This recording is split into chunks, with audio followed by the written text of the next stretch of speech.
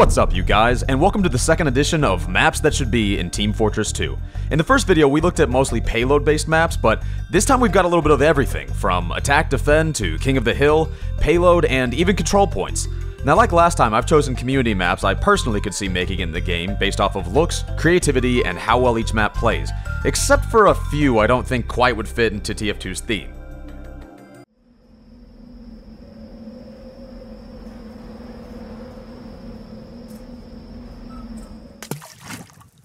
Anyways, hopefully once you guys see these maps, you'll all come to agree though that these maps are amazing and absolutely should be in the game. So, without any further ado, let's start up this second list. Fulgur. Created by ASG Alligator, Fulgur is an incredibly unique attack-defend map, not necessarily because of how it's played, but because of its overall theme.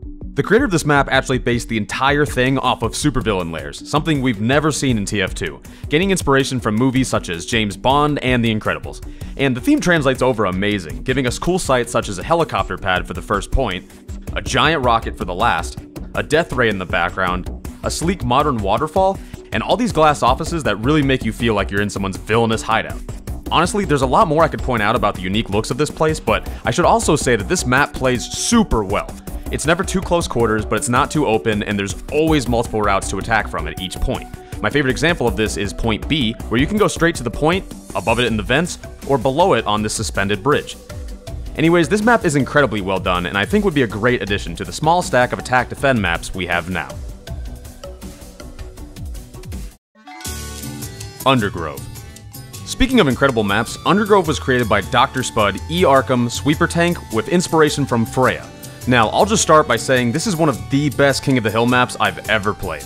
As far as style goes, it mostly mimics the TF2 rural style, but yet just a little different, as it takes place out in the middle of a forest going in between multiple barns. What makes this map so great though in my opinion is just how close quarters it is, its use of differing heights, and how many different routes you can attack from.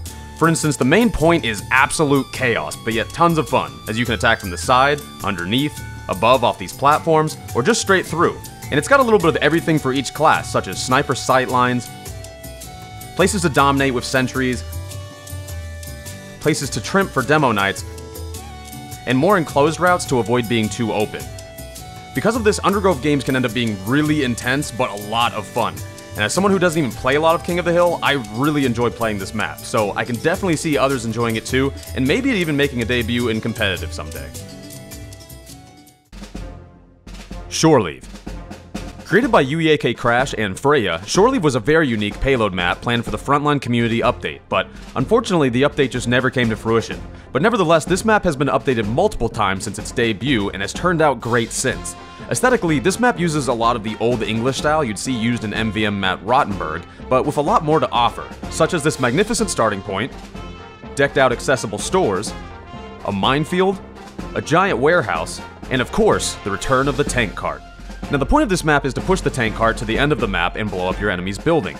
On the way there, you should have a lot of fun, as the map is pretty spacious with a lot of interesting alternative routes. At one point, one of these alternate routes is even made by your tank itself.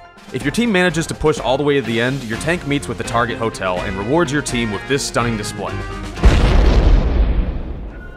Now, I used to think maybe this would be too much for TF2, but then again, this is the same game that lets you launch rockets at buildings and blow up trains, so I'm pretty sure this would make the cut and instantly become a payload favorite. Slaughter. A map that needs almost no introduction, Slaughter was created by Void, Juniper, and Diva Dan. Now, many of you might already know this map as the King of the Hill map being used in the current Creators.tf community update. However, what many of you may not know is this map kind of already debuted in TF2. You see, if you haven't been paying enough attention to detail, you might not have realized that this map should look oddly familiar. That's right, Laughter, the Halloween map we saw last year, was actually based off of this map, and for the most part seemed favorable. Instead of being outside surrounded by carnival themes, however, Laughter takes place inside of, well, a morally questionable butchery. Here you can find all sorts of interesting scenery, such as radiation-filled beef, a meat display possibly gone wrong, and one of my favorites, a work poster telling its employees to avoid the FDA.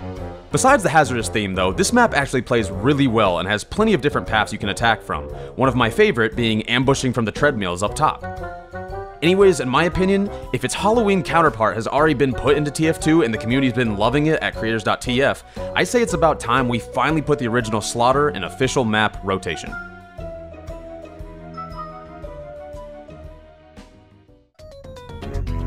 Chasm. Created by mapmaker Randolph, this map may not look like much at first, but ends up being one of the funnest maps you'll ever play.